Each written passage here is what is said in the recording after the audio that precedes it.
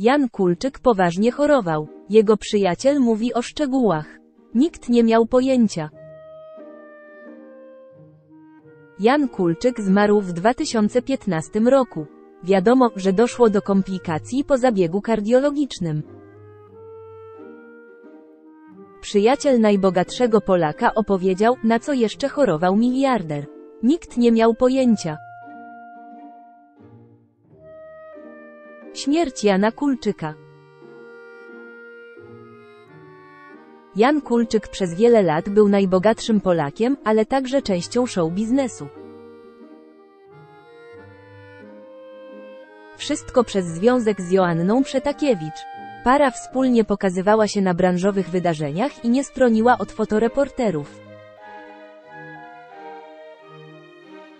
Para rozstała się na dwa lata przed jego śmiercią. Odejście Jana Kulczyka było wielkim szokiem.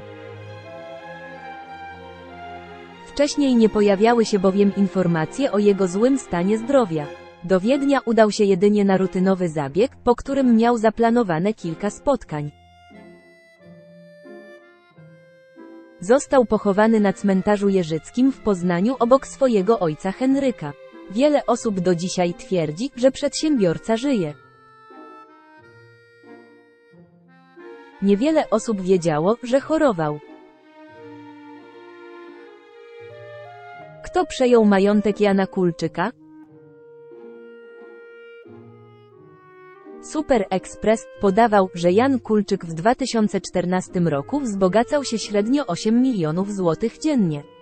Jego wielką fortunę odziedziczyły w spadku jego dzieci, czyli Sebastian i Dominika. Obydwoje umiejętnie pomnażają fortunę, którą zapisał im ojciec. Kilka dni temu córka Jana po raz kolejny pojawiła się na pierwszym miejscu na liście najbogatszych Polek.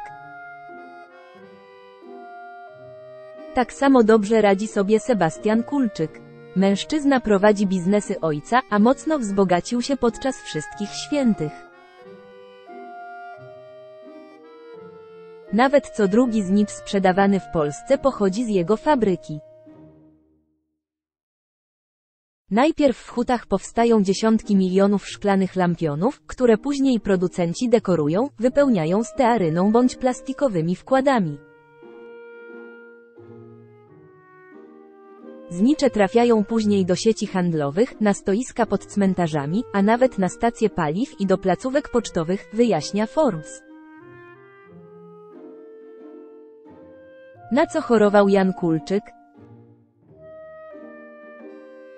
Jan Kulczyk zmarł w klinice Allgemeines Krankenhaus der Stadt Wien, do której udał się na oddział kardiologiczny.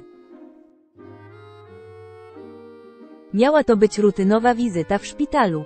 Pojawiły się po niej jednak komplikacje, a 29 lipca 2015 roku poinformowano śmierci najbogatszego Polaka.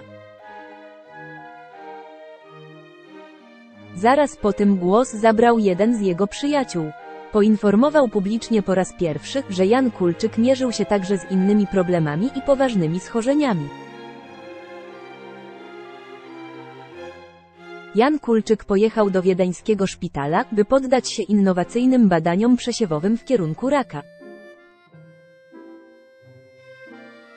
Rok temu w Nowym Jorku przeszedł operację prostaty. Powiedział cytowany przez Fakt rozmówca agencji AFP, który został przedstawiony jako przyjaciel miliardera. Ile prawdy jest w jego słowach? Rodzina Jana Kulczyka nigdy nie mówiła o jego problemach ze zdrowiem.